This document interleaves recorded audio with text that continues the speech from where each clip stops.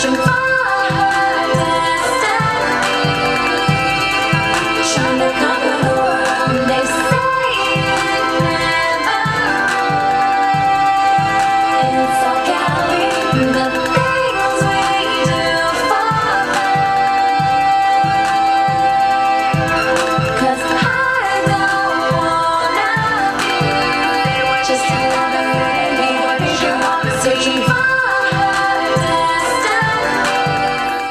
Trevor Mendoza. This is the behind the scenes footage of Tenia Taylor's latest track called Another Ordinary Girl, which is going to be online in a couple of weeks. Hopefully, it'll be uh, one of the next MTV Awards that uh, we're going to be seeing for Tenia Taylor. There's Tenia, there's her manager, we got the camera guy, there's our makeup artist over there, and uh, this is our studio.